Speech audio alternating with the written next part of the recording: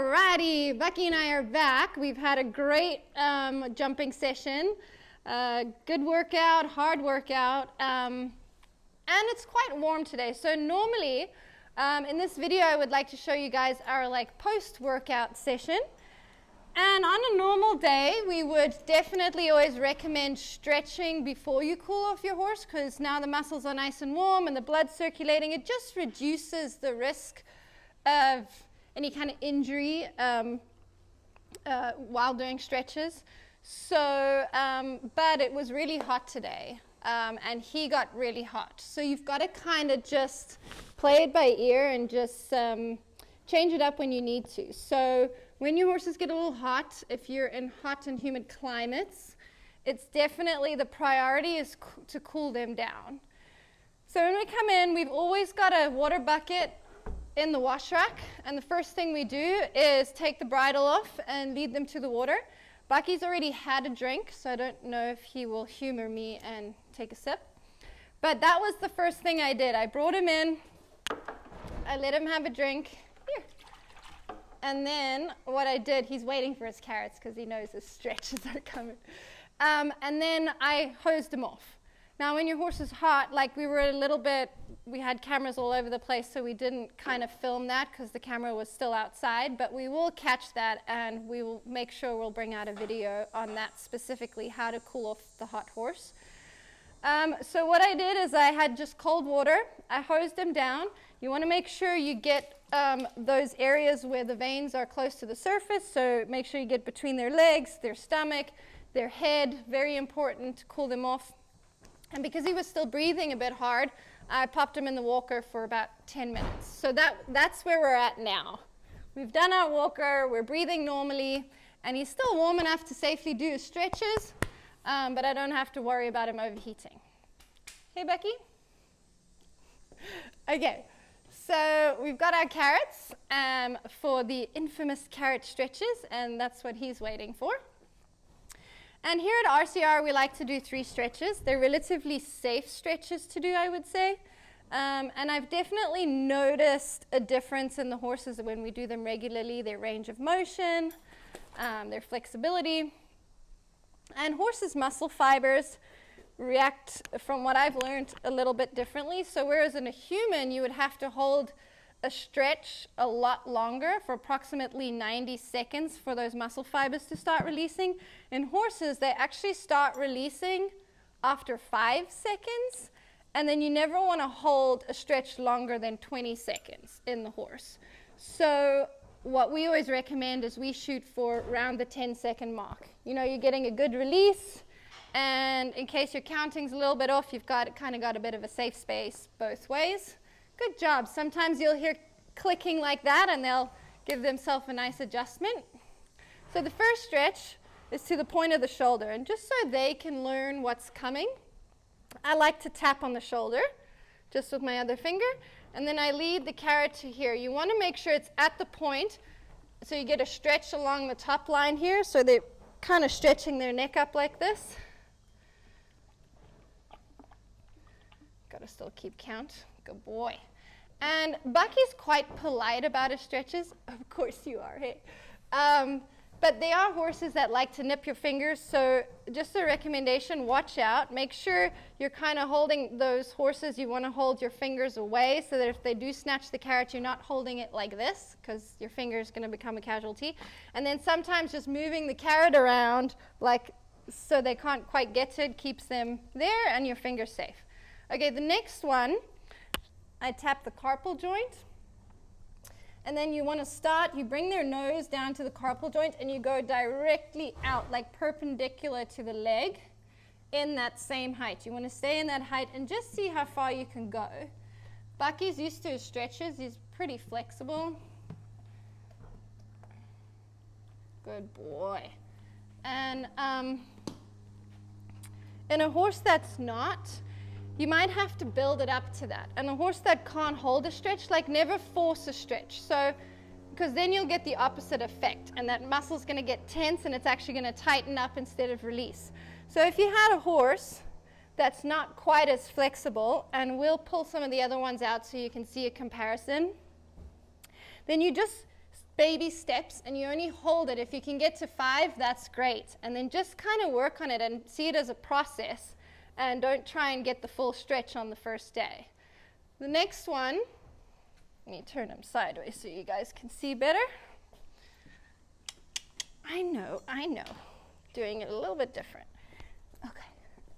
So the next one, I tap on the hip up here, and I want to keep his nose up, higher, and kind of stretching. So we get a nice stretch of the, the intercostal muscles on that side, and you'll actually see it, it engages this side a little bit and lifts the back over here. I know, I'm sorry, you get spooky about things like that. Hey, let's try that again. You're being so good.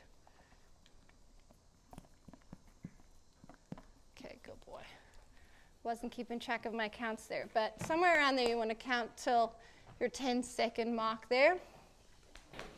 And when you stretch like that, you're really kind of opening up those intercostals. Same when you stretch down to this one, you've really got, I'll show you on the other side where you've got that stretch. Maybe we'll keep it this way. Sorry, kiddo. I know this is not our usual protocol. So you guys can see the other side of just how it really opens up the opposite side of your stretch.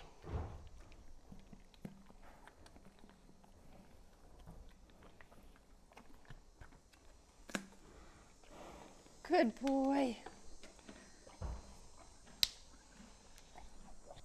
So this one, you want to kind of make sure when their heads are low and out like that, it, you're really getting a nice release of the, the neck muscles there and across the top line there and opening that rib cage on that side.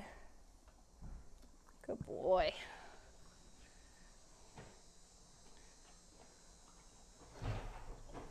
And then just what, if you can't, if the camera can see it, this part here on the back, you're going to see it kind of lift up a little bit. Come on. Let's do it properly, kiddo. Don't leave me hanging here. Good boy. A little bit. He's being a little bit lazy resting this leg. He's getting a little cocky. Show off, huh? Good boy, kiddo.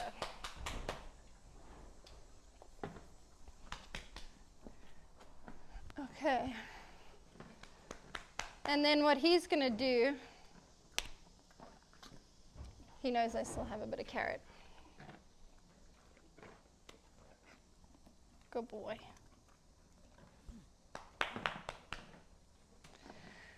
And what he does, because he knows he's going to get his carrot stretches, he usually will like just take a couple of sips and then wait for the stretches. And then before, if I, if I go to his legs, um, he'll then want to go have a drink first. I'm not sure if he'll do that today, seeing as he's already had a drink.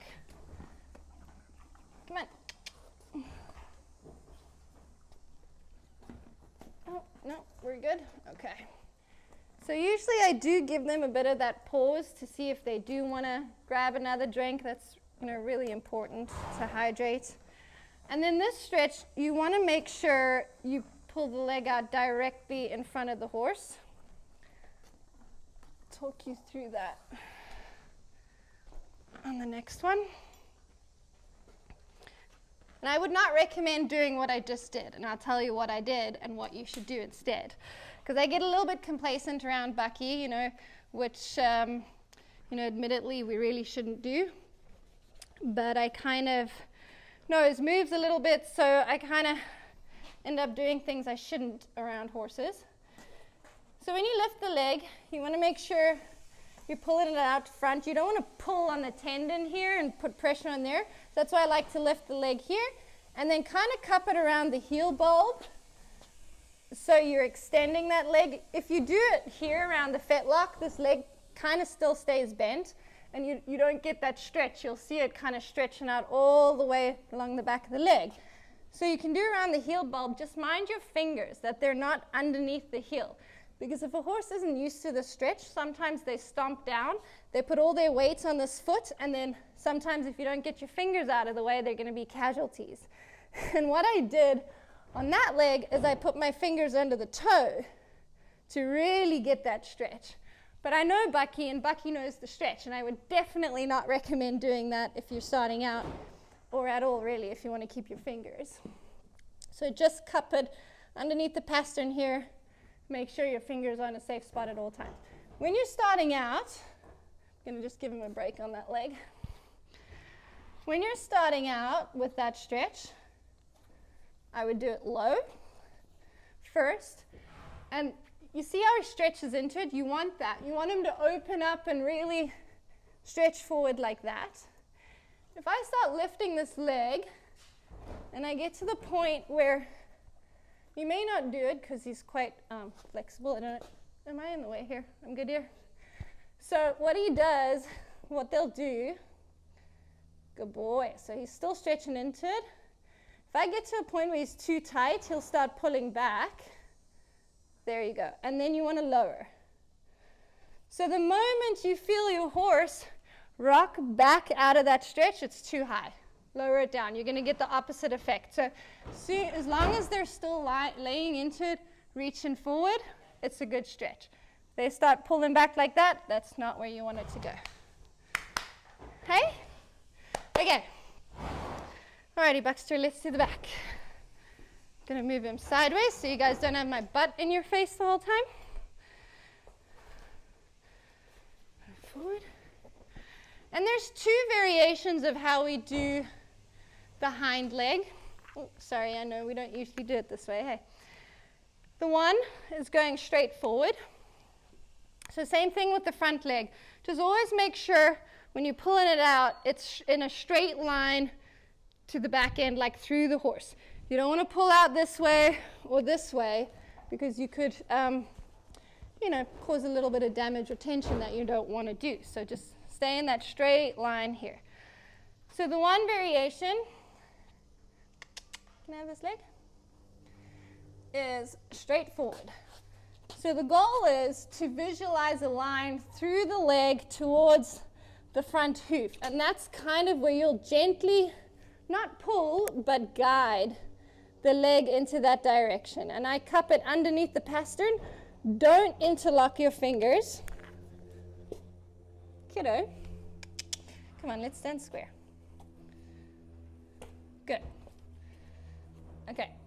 Do not interlock your fingers because I've learned this the hard way. When you're sweaty and gooey and whatever and the horse pulls back, you can't get your fingers unlocked and they can pull you back with them, which is not a great place to be. So make sure you have one hand on top of the other. Are you being silly? Bucky, hey, stop it. Okay.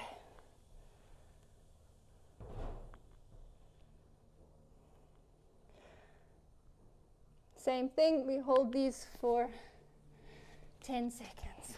And then I usually put it down where he wants to leave it, like a little bit forward and kind of hang out and see if he wants to keep it there a bit.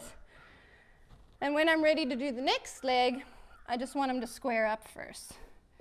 So I don't want him to be unbalanced while I'm lifting a leg, because again, he won't be able to relax in the stretch.